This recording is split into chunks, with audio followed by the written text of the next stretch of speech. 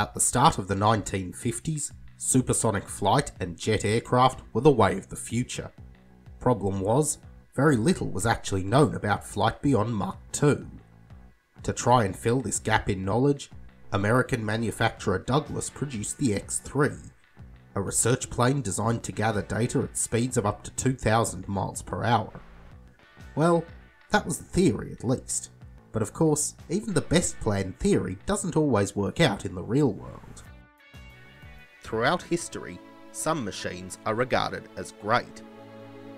Their pioneering innovation, groundbreaking performance, market leading success, or battlefield glory have made them legends, and they have gone on to be enshrined in the history books. This is not their story. These, instead, are the stories of the forgotten many. The failed designs, sales flops, and occasional unsung heroes that have become the yardstick against which the legends are compared. Yet they deserve to be so much more than that, for in their own unique way, they are parts of history.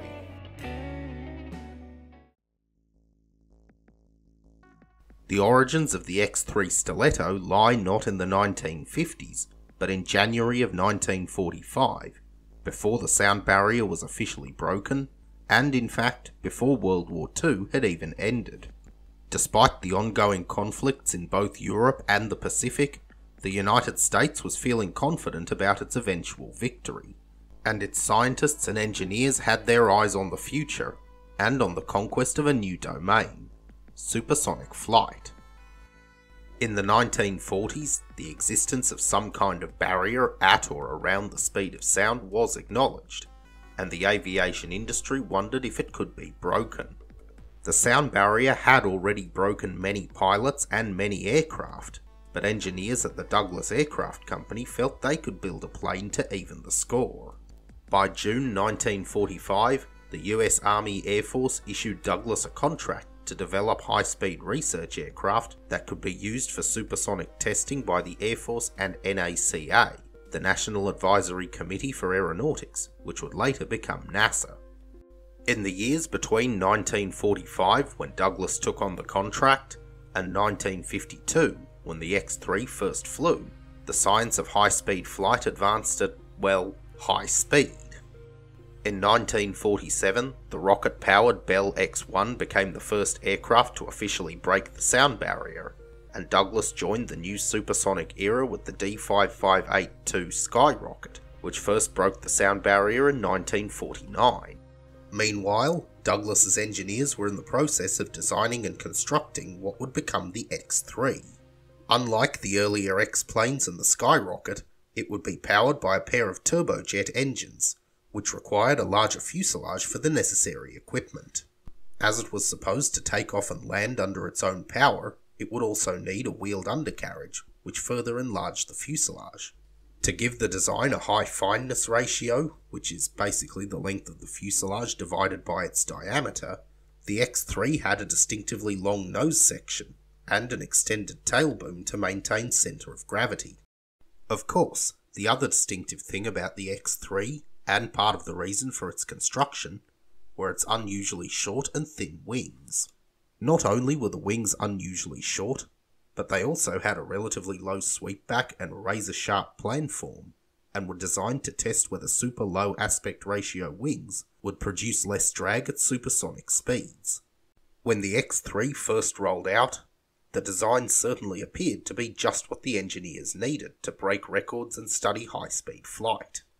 Its pointy nose, thin wings, and sleek conformal canopy gave the aircraft a better drag coefficient than any other X plane. They also earned it the nickname Stiletto, and more subjectively, made it look like it was going at Mach 2, even when it was sitting still on the tarmac. The X 3's first flight, on the 15th of October 1952, was actually unofficial as test pilot Bill Bridgeman managed to lift the aircraft off the ground and fly for a mile during what was supposed to be a high speed taxi test. Douglas would consider this flight as just a hop, with the X 3's first official flight happening five days later, on October 20th. Almost immediately, the engineers realised that they had a major problem. The X-3 had an incredibly high takeoff speed, some 260 knots, about 480 kilometers per hour, or faster than the maximum airspeed of a DC-3 for some perspective. But that was about the only speed record it was actually able to challenge, because it turned out to be disappointingly, frustratingly slow and underpowered.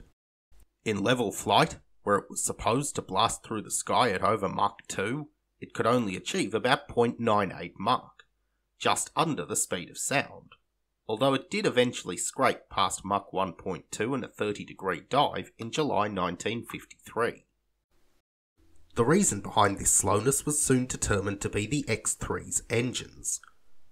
Originally, the aircraft was supposed to use two Westinghouse J46 turbines, which were still on the drawing board during the Stiletto's design process. However, the J46 engine soon ran into development problems. It was intended to be a successor to the J34, a proven though largely obsolete design that had been in production since the late 1940s. Westinghouse also hoped that the J46 would improve their reputation after the J40, another attempt to follow up on the J34, which was eventually cancelled after engineers failed to make a sufficiently powerful or reliable engine. Unfortunately, history was repeating itself for Westinghouse. The J46 was 14 months behind schedule by 1952, and the version intended for the X3, the J46 WE2, was consistently failing to produce the required thrust.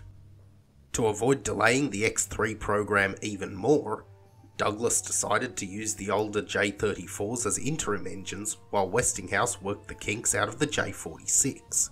However, another problem soon appeared.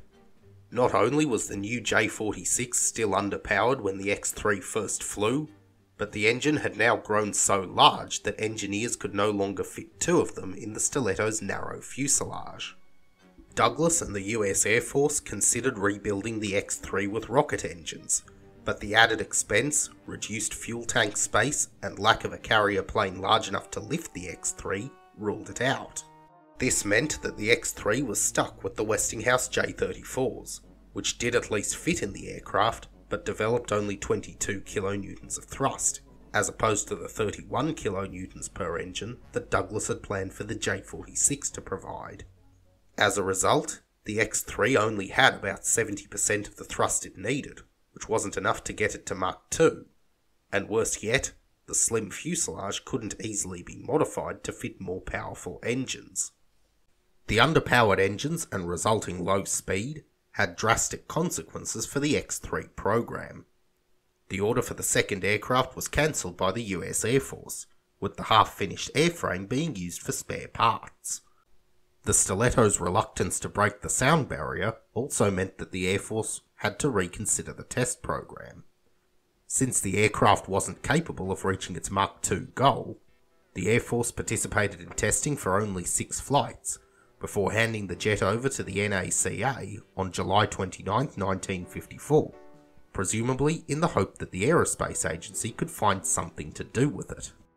The US Air Force even wrote themselves out of the flight tests, with the flights being written up as NACA Flights 1 to 6, despite being performed by Air Force pilots Pete Everest and Chuck Yeager. In the hands of NACA pilot Joe Walker, who was appointed chief test pilot of the X3 program, the Stiletto mostly kept on flying. Walker made three flights in September to get used to the X-3's handling, and another flight that had to be cut short due to a malfunction in the Stiletto's afterburner system. On October 27, 1954 though, the X-3 finally found its niche during Test Flight 10.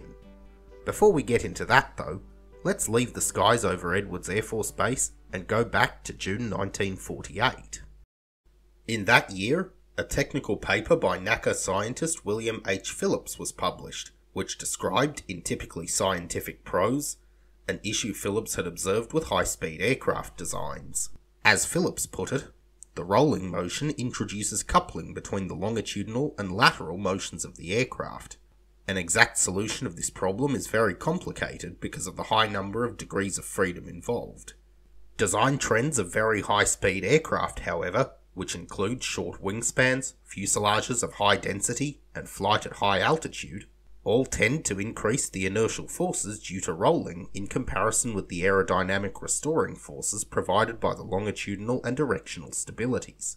Translated out of engineering speak, what Phillips was observing was that making large control inputs in an aircraft with a relatively small wingspan compared to its fuselage length could cause it to snap out of control in all three dimensions, resulting in the plane pitching up and down, swinging left and right, or rolling out of control. Worse still, because of the narrow wingspan and heavy fuselage, a pilot might not have enough leverage to balance the aircraft and regain control, causing the forces to build in intensity until the airframe either broke up or the plane fell out of the sky. Phillips termed this phenomenon inertial coupling, and soon his research became crucially important to the pilots and engineers pushing the boundaries of high speed flight. In 1953, Chuck Yeager had nearly crashed an X 1A when it began tumbling out of control, saying later that if he had had an ejection seat, he probably would have used it on that flight. The YF 102 Delta Dagger prototype fighter was also suffering from inertial coupling, among other issues. But the most compelling case for solving the inertial coupling crisis was the F 100 Super Sabre, which had a nasty tendency to snap into violent yaws and rolls so quickly that no pilot could regain control. This, unfortunately, cost the life of North American's test pilot George Welch, who was killed when his F 100A lost control on October 12, 1954. As it happened, NACA had just received the perfect aircraft to investigate the problem the X 3 Stiletto. With its long, thin fuselage and stubby wings, it seemed like it had been designed with inertial coupling in mind and because its top speed in level flight was right in the transonic zone, where inertial coupling was most prevalent, it provided an ideal testbed for gathering data on the killer phenomenon. However, test pilot Joe Walker didn't have any plans to do that on October 27, 1954. Flight 10 was supposed to be just another envelope pushing exercise, as routine as anything could possibly be in the world of 1950s test flying. That all changed when, at 30,000 feet at 0.92 Mach, Joe Walker rolled left. Suddenly, the stiletto pitched up and its nose swung hard over to the left, putting the plane into a 16 degree side slip despite Walker's control inputs in the opposite direction. Fortunately, Walker was able to pull the aircraft back to level within 5 seconds of the upset, and the forces rapidly subsided. At this point, lesser mortals might have found the nearest runway, landed the X3 and never flown it again. But Walker was a test pilot, and he had a mission to learn the X3's limits and gather data that could be used to make flying safer for his fellow pilots. Either that, or he was just plain crazy. He sped up to Mach 1.05 and made another sharp left roll. This time, the results were even more dramatic than his last bout with inertial coupling. The nose swung around laterally to a maximum of 21 degrees, and the plane pitched down so severely that it hit minus 6.7 G. Walker pulled up to counteract this, and the nose shot back up with a force of 7 G, pitching up so far that the stiletto's wings almost stalled. It's worth pointing out, by the way, that all this took place within seconds of Walker making the turn. Remarkably, though, Walker managed to tame the X3 once again, and brought the aircraft back to base with no further incident. A review of the data from Flight 10 showed just how close Walker had come to not just losing control, but losing the aircraft and probably also his life. The maximum loading measured on the X3's fuselage and tail section peaked at 63,000 pounds, almost 29 metric tons, which was right on the aircraft's design limits. The only thing stopping the wings from being overloaded, scientists determined, was the fact that there was so little air flowing over them that they barely generated any lift. Otherwise, if they had been subjected to seven times the force of gravity along with the rest of the airframe, they might have snapped right off. And given that the stiletto's ejector seat fired downwards through the cockpit floor, escaping the violently gyrating aircraft would have been difficult, to say the least. After this ordeal, the scientists continued to pore over the numbers, but the stresses experienced by the X3 meant that it was grounded for the next 11 months undergoing a careful structural inspection. Walker flew the aircraft 10 more times, though it didn't carry out any further research into inertial coupling. There were, however, other incidents that dogged the Stiletto's later career, including the braking parachute deploying in flight on October 12, 1955, an instrument probe getting sucked into an engine on December 13th, and a short circuit that started a small fire in a test instrument package in April 1956. The X-3 flew for the final time on May the 23rd, 1956, with Walker once again at the controls. After this flight, the plane was put on display at the National Museum of the United States Air Force, where it remains to this day. Now, the phrase worst aircraft ever made gets thrown around a lot, but quite often the Douglas X3 Stiletto finds itself a contender for that title. After all, it was designed to fly at Mach 2, it was sleeker than almost anything in the sky, but in level flight, it was incapable of even breaking the sound barrier. Even its pilots didn't have much praise for it. Bill Bridgeman, its first test pilot, said it was hard to keep his speed and altitude while flying it. Pete Everest called it one of the most difficult airplanes he had flown, and Joe Walker, who'd taken the jet right to its structural limits, considered it simply the worst aircraft he'd been involved with. However, the X3 did have some positives in its legacy. It taught engineers a great deal about the use of titanium in aircraft construction, and undercarriage and tyre designers were able to benefit from the unintentional stress testing provided by the Stiletto's high takeoff speed. Another, albeit indirect, result of the X3 program was the F 104 Starfighter. It had been in development as the X3 was being tested, and at the Air Force's insistence, Douglas had shared plans and data with Lockheed. The Starfighter owed much of its design to the Stiletto, particularly the short, low aspect ratio wings. But with its more powerful J 79 engine, the F 104 was actually capable of reaching Mach 2. A RAND Corporation report stated that Lockheed's success in building and flying a prototype less than a year after go ahead would probably not have been possible without knowledge derived from the X3 program. Of course, the Stiletto's most important and most enduring legacy was the flight data it generated. This data taught engineers a great deal about inertial coupling, and combined with some of the earliest uses of computers for analysing aircraft designs, this helped contribute to safer high-speed aircraft, and slowly began to change the shape of the fighter plane. Supersonic aircraft got bigger wings and control surfaces, and canards and stabilizers began to appear on new designs, to make planes that were more agile at speed, yet more docile during slower flight. But as for the Stiletto itself, as an aircraft, it was largely a failure. It was let down by underpowered engines that left it unable to fulfill its primary directive of reaching Mach 2, and its long heavy fuselage and tiny wings made it a menace to fly. However, the Stiletto's dangerous design and resolute refusal to go supersonic meant that quite accidentally, it became a valuable research tool during its short career.